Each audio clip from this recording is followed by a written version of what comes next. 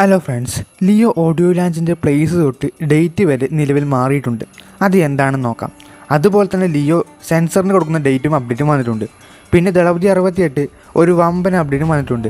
അതൊക്കെ എന്താണ് ചെക്ക് ചെയ്യാം. അപ്പോൾ വീഡിയോയിലോട്ട് പോകാം. ലിയോ ഓഡിയോ ലാഞ്ച് ഒരുപാട് പേര് കാത്തിരിക്കുന്ന ഒരു ഈവന്റാണ് പ്രൊഡക്ഷൻ ടീം പ്ലാൻ ചെയ്തത് മലേഷ്യയിൽ നടത്തണമെന്നാണ്.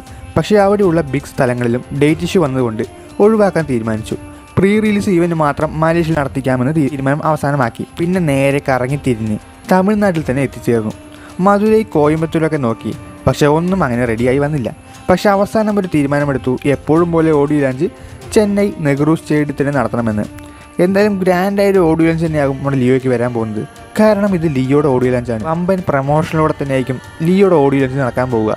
അതുപോലെ ഡേറ്റും ചേഞ്ച് ആയിട്ടുണ്ട്. ഒക്ടോബർ അഞ്ചിന് പകരം സെപ്റ്റംബർ മുപ്പത് തന്നെ നടത്തുമെന്നാണ് ഇപ്പോഴത്തെ അപ്ഡേറ്റ് ആയിട്ട് പോയിക്കൊണ്ടിരിക്കുന്നത്. ഇനി ലിയോയുടെ സെൻസർ അപ്ഡേറ്റ് നോക്കുകയാണെങ്കിൽ എല്ലാവർക്കും അറിയാവുന്ന കാര്യമാണ്. ലിയോ വളരെ ബ്രൂട്ടലായ വയലൻസ് നിറഞ്ഞ പടമാണ് എന്ന്. അത് ലോകേഷ് തന്നെ പറഞ്ഞ കാര്യമാണ്.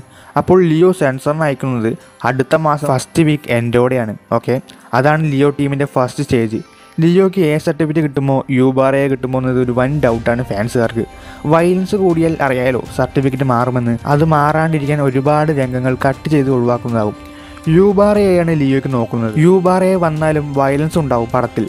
നമ്മൾ ജയിലറൊക്കെ കണ്ടതല്ലേ? പക്ഷെ അതിന്റെയൊക്കെ പത്തിരട്ടി വയലൻസ് ആണ് ഈ ലിയോ പടത്തിലുള്ളത്. പക്ഷെ ഒരുപാട് ബ്രൂട്ടലായ സീൻസ് ലിയോയിൽ നിന്ന് എടുത്തു കളയും. അത് സെൻസറിന് പോയി എന്തൊക്കെ കട്ട് ചെയ്തു എന്നുള്ള വിവരം സെപ്റ്റംബർ സെക്കൻഡ് വീക്ക് നമുക്ക് അറിയാൻ സാധിക്കും.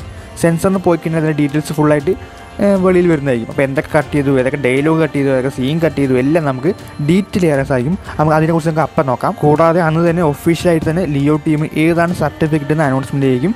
കൂടുതലും നമ്മൾ പറയുന്ന പോലെ തന്നെ യു ബാർ എ കിട്ടാൻ തന്നെയാണ് അധികമായുള്ള ഒരു ചാൻസ് കാണുന്നത്. വയലൻസ് വയലൻസ് വയലൻസ് അതാണ് നമ്മുടെ ലിയോ പടം. എന്തായാലും നമുക്ക് അതിനുവേണ്ടി കാത്തിരിക്കാം. ദളപതി അറുപത്തിയെട്ട് അപ്ഡേറ്റ് നോക്കുകയാണെങ്കിൽ ദളപതി അറുപത്തിയെട്ടും ഒരു മൾട്ടി സ്റ്റാർ പടമാണ് എന്നതാണ് ഇപ്പോഴത്തെ അപ്ഡേറ്റ് മൾട്ടി സ്റ്റാർ എന്ന് പറയുമ്പോൾ ഒരു ചെറിയ സ്റ്റാർ വരുന്നതല്ല ഒരു ബിഗ് സ്റ്റാർ പക്ഷെ അത് ആരായിരിക്കുമെന്ന് അറിയില്ല. ദളപതി അറുപത്തിയെട്ട് മൾട്ടി സ്റ്റാർ സബ്ജക്റ്റ് ആണെന്നത് നൂറ് ശതമാനം കൺഫേം ആണ്. ഓക്കെ അപ്പോൾ ഈ വീഡിയോയെക്കുറിച്ച് നിങ്ങളുടെ അഭിപ്രായം കമന്റ് ബോക്സിൽ രേഖപ്പെടുത്തുക. അതുപോലെ തന്നെ ലൈക്ക് ഷെയർ കൂടി ചെയ്ത് കൊടുക്കുക സബ്സ്ക്രൈബ് ചെയ്യുന്ന കാര്യവും ബെല്ലി കൊണങ്ങുന്ന കാര്യവും പരിഗണിക്കുക. അടുത്ത വീഡിയോയിൽ കാണാം.